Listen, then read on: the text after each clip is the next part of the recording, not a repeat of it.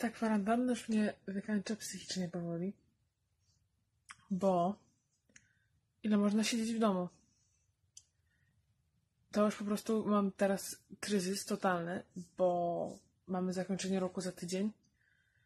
Ostatni tydzień upłynął mi na dokończaniu jakichś tam niedokończonych prac, dopinaniu ocen.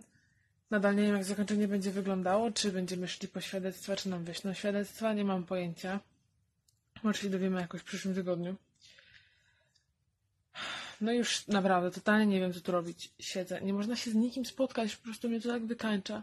Chciałabym wyjść ze znajomymi, gdzieś się przejść, iść, a nie mogę zrobić nic, tylko sobie tu siedzę i nie robię nic więcej. Oprócz słuchania muzyki, oglądania filmów, oglądania seriali, bo w sumie to jest wszystko, co mogę robić. Zresztą maturę też nie wiem, kiedy będę miała. Czy będzie za trzy tygodnie, czy będzie w grudniu, czy kiedy będzie. Nie mam pojęcia.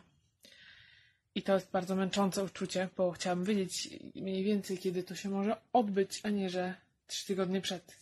Trzy tygodnie przed to jest taki termin, że ja nie wiem, co to znaczy trzy tygodnie przed. Trzy tygodnie przed mogą być w czerwcu, trzy tygodnie mogą być w grudniu. Więc nie wiem. I siedzimy wszyscy jak na szpilkach, wszyscy maturzyści. Przynajmniej tak mi się wydaje, z tego co rozmawiałam z moimi znajomymi i przyjaciółmi. Więc trochę masakra. Nie spodziewałam się, że ja będę tym rocznikiem, który będzie miał takie problemy, pisząc maturę. Moja dziewczyna ma dzisiaj maturę Nie ma czasu dla mnie w ogóle Nie śpi po nocach, strasznie się boi Szkoda mi dziewczyny mojej Hurra, hurra